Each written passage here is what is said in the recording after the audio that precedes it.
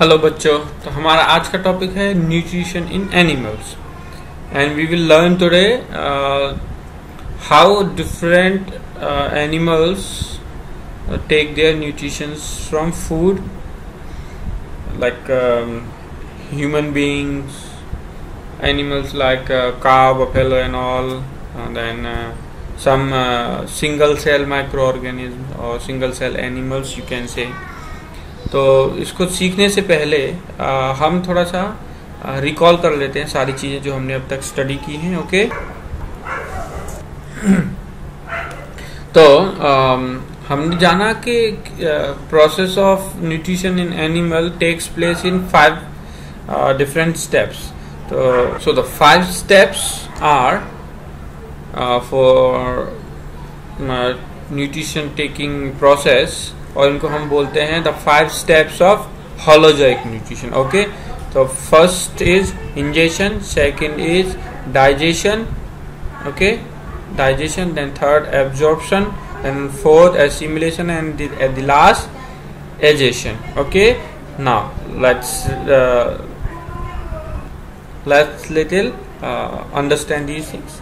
So first ingestion. Ingestion is uh, is the process of taking of whatever food we eat inside our mouth that is called ingestion okay now the second is digestion in this uh, what happens जो food होता है उसको बहुत छोटे छोटे molecules में break down कर देते हैं जो हमारे बॉडी के अंदर के और माउथ के जो टीथ हैं वो और उसके बाद इंस्टेंस्टाइन्स वगैरह हमारी जो आते हैं वो सब मिलके ठीक है फिर आ, उसके बाद ये मॉलिक्यूल्स में एंजाइम्स और सम केमिकल्स ऐड हो जाते हैं जो हमारे बॉडी बनाती है जो जिसे हम लार भी कहते हैं ओके स्लाइबा जो हमारी मिक्स हो जाती है।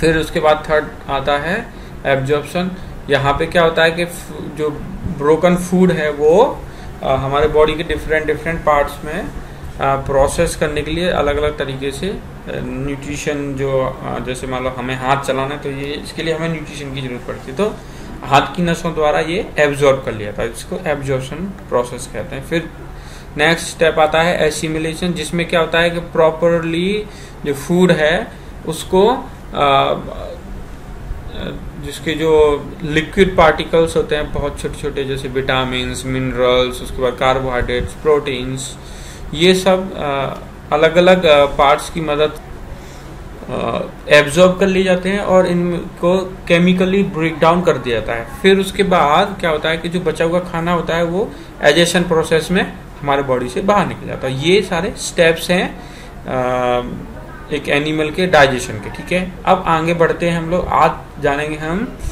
how the digestion system work okay तो डाइजेशन सिस्टम तीन तरह के हम चीज़ों में हम लोग जानेंगे इससे, ठीक है, कि किस तरह से डाइजेशन सिस्टम वर्क करता है। तो पहला जो हम जानेंगे वो सिंगल सेल के ऑर्गेनिज्म में किस तरह वर्क करता है।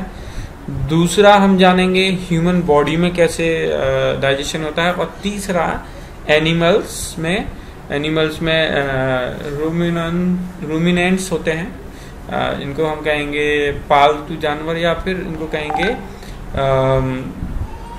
दुधारू जानवर, या फिर इनको हम कह सकते हैं जो, ऐसे जानवर जो अपना खाना अंदर लेते हैं, फिर उसके बाद उनको च्यू करते रहते हैं, ठीक है? इसको गाँव की भाषा में हम जुगाली करना कहते हैं, जो आपने देखा होगा, बफेलो का वगैरह करते हैं। खाना खा लेंगे पहले तो फिर उसके बाद वो आराम से बैठ के उसको चबाते रहते हैं, ठीक है?